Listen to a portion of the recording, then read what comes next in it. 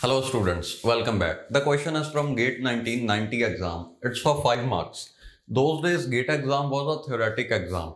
But nowadays you can expect MSQs or MCQs on such questions. And uh, they'll be for maximum of 2 marks. Okay.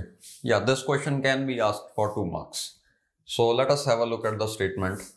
For the synchronous counter shown in figure, write the truth table of Q0, Q1 and Q2 after each pulse starting from Q0 is equal to Q1 is equal to Q2 is equal to 0 and determine the counting sequence and also the modulus of counter. Okay, you can see we need to determine counting sequence of this counter in which all the three flip-flops used are JK flip-flops. I've written the function table for uh, JK flip-flop. Now you can see if you try to analyze this flip-flop the zeroth flip-flop, if value of this OR gate is 0, the output of OR gate is 0, JK will be 0, 1. Okay, 0, 1 means reset.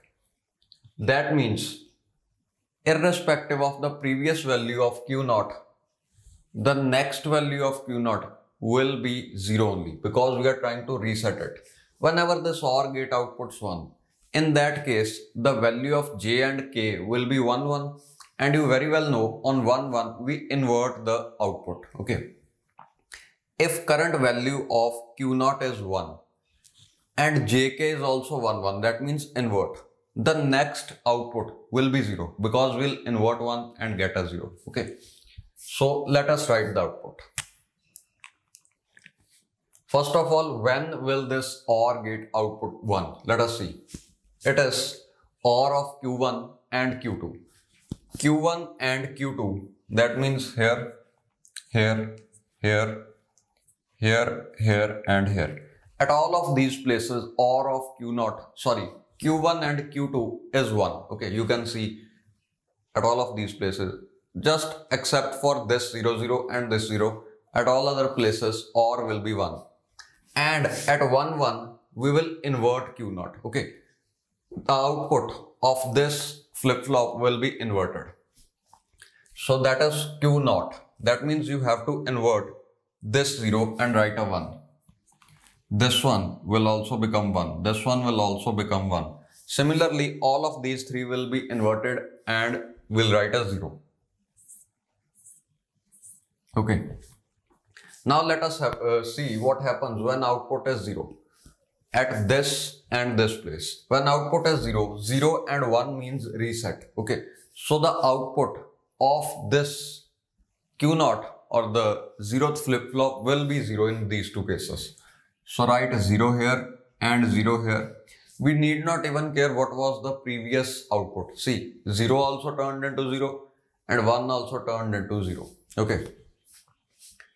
So next let's analyze this flip-flop okay the value of k for this flip-flop is q naught bar. That means inverse of q naught.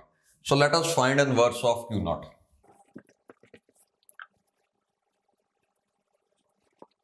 So i have found out the inverse of q naught.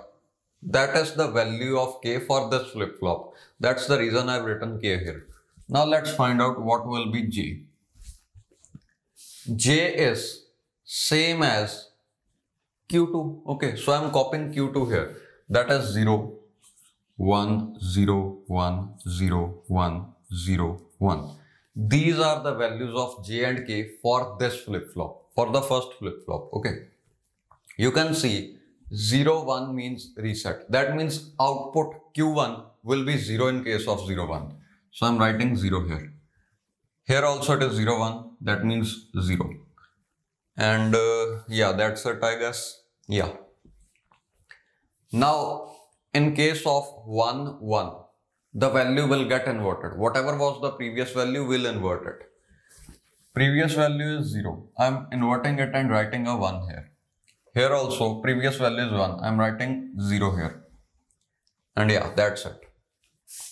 Now, whenever the value is 0, 0, in this case, you very well know the previous output will remain as it is. There will be no effect of clock.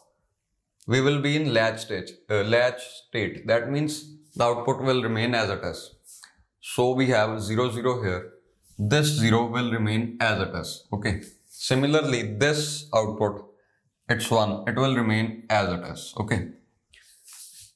Now this is 1, 0. In case of 1, 0, the output will be 1 irrespective of previous output. Okay.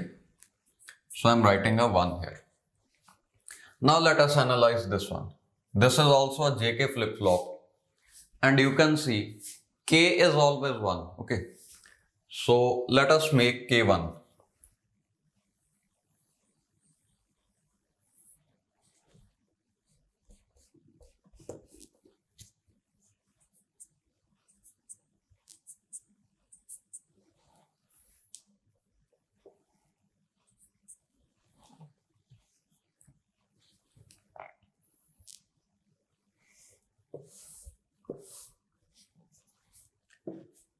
So k is 1 and the value of j needs to be determined. j is q naught bar, see q naught bar and q1 bar.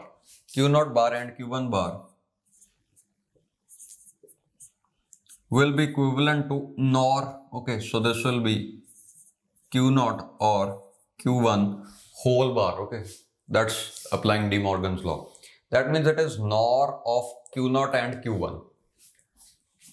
Q0 and Q1's NOR. First of all, let's find OR of these two. Okay. So here, here, here, here, at this place also and at this place. At all of these places, OR is going to be 1. NOR will be invert, uh, inverted OR. That means 0. So at all of these places, I'm writing a 0. So we have found out the values of J and K for this flip-flop now let's see what happens when we give a clock. See when values of j and k are 1 1, whenever you give a clock, this q2 will be inverted. Whatever was q2 will just invert it. In this case, q2 is 0, you will invert it and get a 1. Here also you will invert it and get a 0. See 1 is inverted to get a 0. Next we have 0 1. 0 1 means reset. Okay. So reset means the output will be 0. At all of these places, the output that you are going to get is 0. Okay, so this is the truth table. Now let us find out the counting sequence. Counting sequence will be, if you are on state 0 and you give a clock, you will go to state 1. 0 goes to 1. Whenever you are on state 1 and you give a clock, you will go to state 6. 1 goes to 6. Now where is 6? We have it here. 6 goes to 2. Okay. The next one is 2. 2 goes to 4.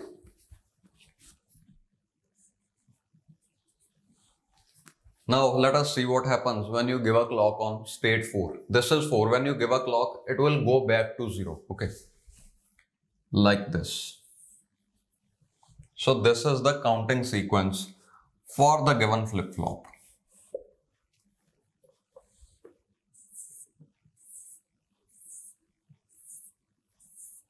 Okay. Now you can see 7 is left. 7 and 5 are left.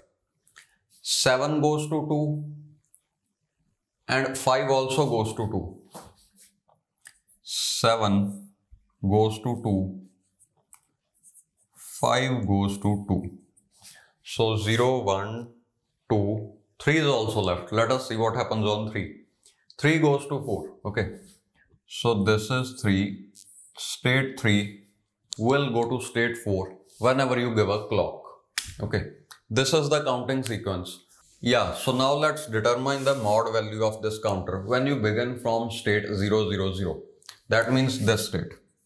You can see we have five states in this loop. First, second, third, fourth, fifth. Then you'll come back again to this state only. Okay. So you keep on looping between these five states. That means the mod value of the counter is 5. Okay. So your answer is 5. This one is a mod 5 counter. And this is the counting sequence. Okay.